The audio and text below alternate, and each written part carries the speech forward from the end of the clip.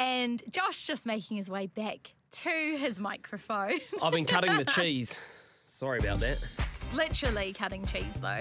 Yeah, so we thought that we would trial blind taste testing Edam, Colby, Mild, and Tasty. The cheeses that you can buy in one kilo blocks. So I will blindfold myself and you can deliver me cheese number one, please. I'm using tongs for safety reasons. COVID reasons.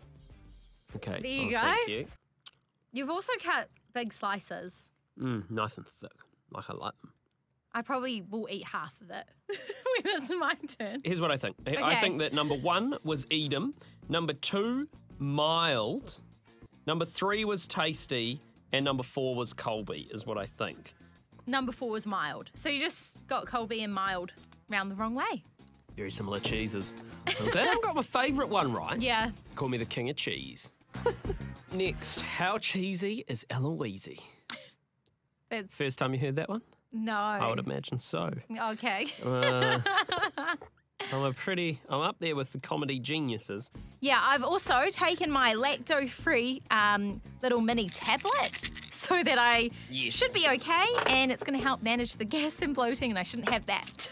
We didn't need to know about the gas and bloating. Okay, first bit of cheese. okay. I think this is Colby. I don't know why. I'm just throwing that out there. What I want to throw out there is I know you're lactose intolerant, but you don't have to eat the whole bit of cheese. Like you You just just take a little bite. Cheese smells the same, by the way. I've been trying to smell them, but you cannot. Well, you I also cannot had, you smell. had COVID, so you don't have smell mm, anymore. No, I do have smell back. So you're gonna lock in tasty, then Edam, Yeah, then Colby, then mild. I'll switch Colby and mild. Uh, so um, you got tasty and Edam, you got Colby and mild round the wrong way. Otherwise, you would have got four from four. So you Whoa. backtracked on that one. How's the guts?